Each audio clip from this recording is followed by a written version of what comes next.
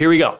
So flip over to the YouTube channel um, because I am about to share my screen and go over this particular case study that um, that I want to talk about. This story I want to talk about. So here's where the story starts.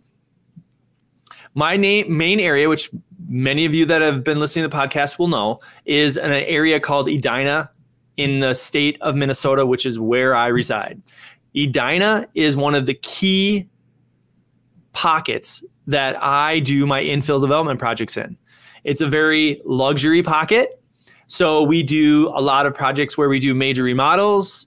We do what we call a pop the top, where we take off uh, the roof or a partial second story, which is called a half story, and we add a full second story, or we go as far as to tear the entire house down and build a brand new house. And that is the story I'm going to tell you about today. So, how do I get started executing the drive for dollar strategy? it's real simple. You get in your car and you drive the neighborhoods and the streets that you want to acquire homes on. And that's exactly what I've been doing for the last 12 years that I've been working in the Edina market. I've been driving streets and I've been literally typing, hand typing the addresses as I drive by the houses that I want to purchase in the future. And how do I do this? I create a spreadsheet in Google Docs. And on that spreadsheet, I type in the addresses. Now I have it categorized out, and I don't really want to share these addresses or my spreadsheet on um, on my YouTube page uh, because it's private information, and I just don't feel like it's right. I feel like I need to keep it confidential. Um, the other thing that I wanted to let you guys know too in the strategy, I'm not going to be sharing is I'm not going to be sharing a, the specific number um, of dollars or profit that I made on this particular transaction because again, I feel like it's not fair to the people and the clients that I worked with. Um, but I can tell you that I will share some numbers on profits that I have made, and you're just going to have to take my word for it. So again, I am driving down streets in Edina. I am writing the addresses down of homes that I'm literally looking out my window and saying, man, I can see how I can do this type of project or that type of project. And I already know what the profit margin is because I've either done it before or if it's my first deal, I've crunched the numbers and I've created a case study based on other projects that I know are going on in the neighborhood and the research that I have done. So I have a pretty good formula that I believe is profitable. And this particular property that I'm sitting in front of in my car, writing down the address on a Google spreadsheet, I'm going to send them a letter. And here we go. Here is the letter. Okay. Janice is the actual person who owned the property that I'm going to show you. You can see the address 58 100 block of the Kellogg. Okay, this is the exact sample. Now, it's not the exact letter, obviously, but it's an exact sample of the letter that I sent. Now, I will not be showing you the letter that they pull out because you know what?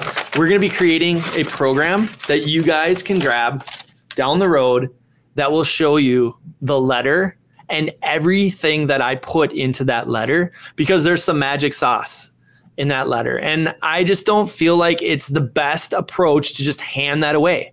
I feel like if you really want something, the magic sauce, you know what? I want to create a great program so that you can execute this strategy to a T and actually get results. But today, I just want to give you a general 30,000 foot view of the approach. So you saw the letter or the envelope you saw the letter that I put in there. Now you didn't get to read it, you didn't get to see it, but I want to show you the results of that letter. So here we go. I'm going to share my page and this was Janice's response. So what I do is in that letter, there's obviously contact information. Janice decided that she wanted to reach out and touch me. And so this is what she sent. And if again, if you're on the YouTube channel, you can read literally the proof verbatim on a voicemail that Janice left me, which says, Hi, Tim. This is Janice Richardson. Here's my number. I live on Kellogg Avenue in Edina, and I received a letter from you a few months ago saying, you know, you know, inquiring or saying, and then again, this got messed up because it was a, a voice text, inquiring if anyone be, would be interested in selling my property. I am considering posting my property on the market. So I don't know if you're in the position to purchase my property over the next few months. Anyways, just kind of high level inquiry.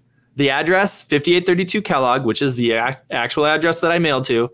If you want to, you know, look up any particulars about it and give me a call. Now, again, this is literally the voice text. It's kind of scrambled, it's kind of messed up, but this is for real. I wanted you guys to see this because if you're like me, prove it. Like, prove that this works. And this is about as much proof as I can give you that I got, she reached out and she said, Hey, if you're interested, call me. And that's exactly what I did. Now, I documented this on my company website, Ground Up Development, which is groundup-development.com. And you can go there and you can read about the story. And all you have to do is go to properties and go down to 5832 Kellogg Ave. And that is the webpage that we're looking at right now if you're on the YouTube channel. So this is the property that I ended up acquiring. Now I have meet the owner. I've told the story and you will see a picture of the existing property. Now this existing property I paid $400,000 for. Actually 399,000. She wanted me to pay over 400 but I refused. I was firm at under $400,000. But if you are looking at this picture, you're going to laugh because I couldn't even believe at the time that I was willing to pay $400,000 for this particular property. So I sent this letter to Janice. Janice responded back and she said, Hey, will you come over and tell me about your process? I'm really considering selling the home. And that's exactly what I did is I set up a meeting after Janice had reached out to me again through my contact information I showed up to this house. And I talked to Janice. And part of the strategy is the delivery. You're going to hear about a lot of these different strategies that we're going to give you for finding your first deal or finding deals. And it really comes down to the delivery of your message and what you can provide that homeowner. So when I walked in the door, I said, Hi, Janice, thank you for inviting me to your home. I really appreciate that you reached out to me and responded to my letter. I'm definitely want to help you out. What can I do to help you? And Janice gave me her story and told me that she was been living in this house for a, an extended period of time, years and years. It's a great house, love the neighborhood, love the location, but it's just time for me to move. And I'm thinking about quitting my job and I'm thinking about moving on with my life. And so she said, I'm ready to sell. Now, how does this process work? I know I could list the house. I know that I could hire a real estate agent and I know that I could go through that whole process. But my house, you know, is in a little bit rougher shape. I haven't really done a ton of updates and I would rather just get this done quickly and move on. And so what I told her was, here are your different options. And at that point, I go over the different options. I disclosed to her I'm a real estate agent, but I disclosed to her as well that my main priority is not to come in here as a real estate investor and take advantage of you. There's plenty of guys out there doing that. I want to be different. I want to help you.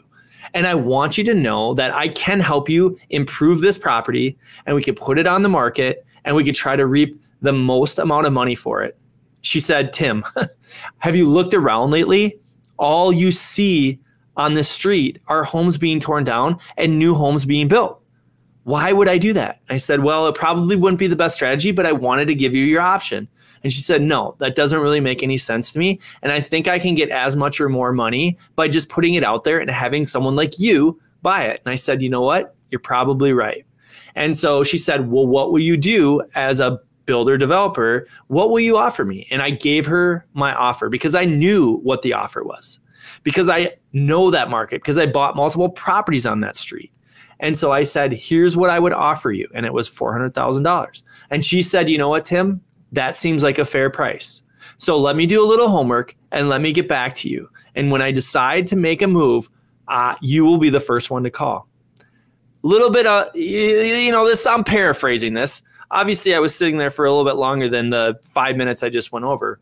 But at the end of the day, that's exactly what happened is that she decided to sell this house to me and we moved on and we built this home.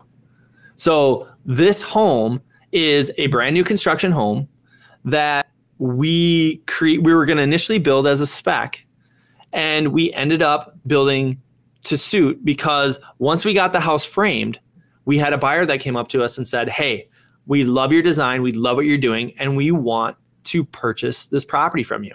And again you can go through the story if you visit the page which is 5832 kelloggave.com and you can read the rest of the story long story short this particular property that we built, we sold for over $1.4 million. The profit on this was significant. It was well worth my time to drive the neighborhood, my time and energy and expense to mail the letter, my time to show up to the house and have a great conversation with Janice and have her feel comfortable with me and select me as the person that she wants to sell the home to. You guys, this is a short story about how you drive for dollars and how you make big profits.